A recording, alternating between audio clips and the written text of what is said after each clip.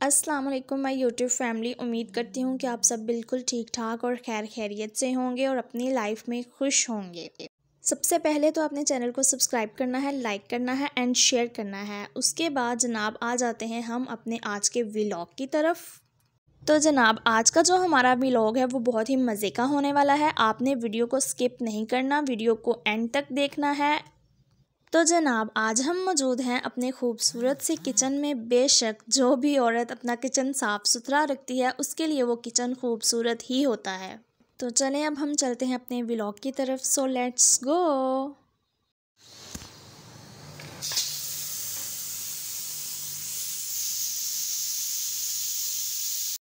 तो मैंने जो है वो बनाई थी चने की दाल और मैंने तकरीबन इसको तकरीबन सात से दस मिनट के लिए रखा था। तो मैंने कुकर जो है उसमें से निकाल कर फिर इसको सेपरेट बॉल में डाल लिया था। वहाँ पर जो है वो हमारा स्टार्ट हुआ जाता है फिर आगे से रूटीन और मैंने यहाँ पर जो है वो दाल बनाना जो थी वो अपनी स्टार्ट कर दी है।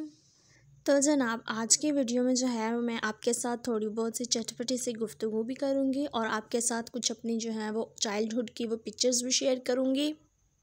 और इसके साथ साथ जो है वो मैं अपने डेली बेसिस के जो रूटीन के काम है, वही मैं बेसिक से काम करूँगी। तो इसके साथ साथ जो है मैं आपके साथ चाइल्डहुड की पिक्चर्स जो हैं वो आपके साथ शेयर करूँगी। जब तक इंसान की लाइफ चलनी है, तब तक जो है वो ये जो रोज़मर्रा के ज़रूरियात के जो काम होते हैं ना, ये तो हमें करने ही पड़ते हैं। अगर और कुछ करो ना करो तो किचन में हांडी रोटी तो करनी ही पड़ती है।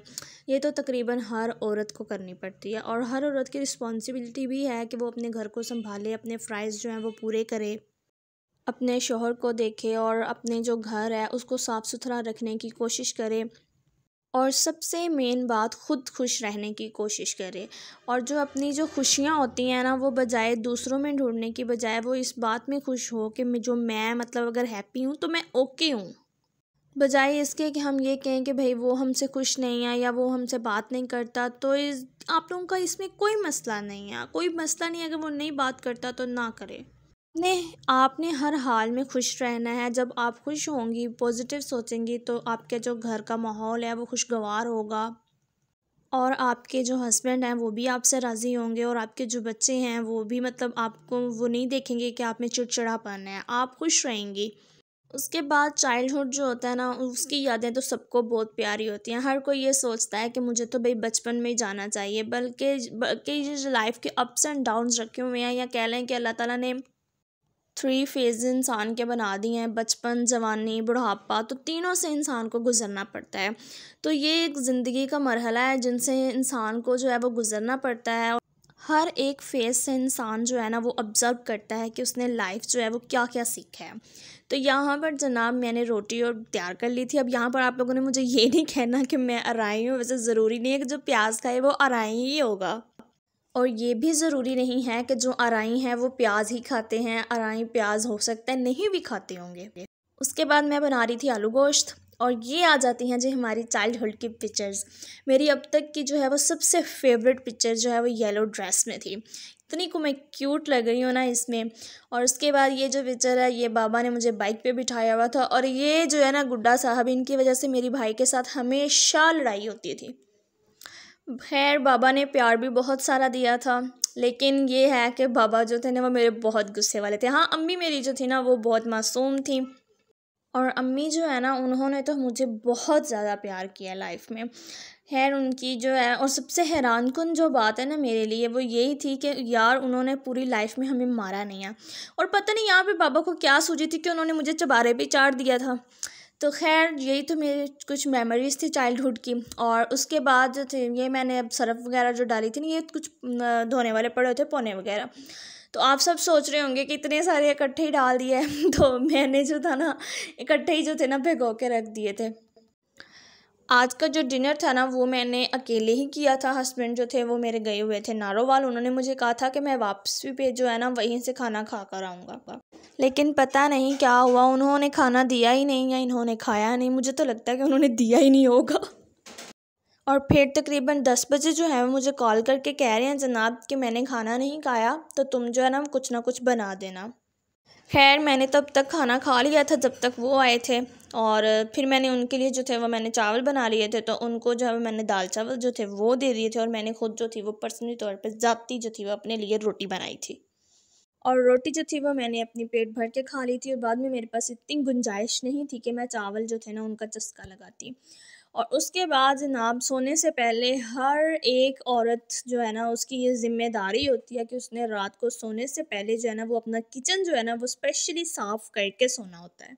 नंबर वन पे तो इसका सबसे बड़ा फ़ायदा ये होता है कि अगर आप रात के जो बर्तन है ना, वो धो के सोएँगे ना तो आपके रिज़क में कमी नहीं होगी। क्योंकि कहते हैं कि अगर आपके बर्तन जो हैं वो रात को आप रख दें तो आपके रिस्क में कमी होती हैं। और नंबर दो पे फ़ायदा ये है कि अगर आप रात को बर्तन जो हैं वो रख दें तो जो कीड़े मकोड़े होते हैं ना, वो सारी रात उसमें सैर करते हैं।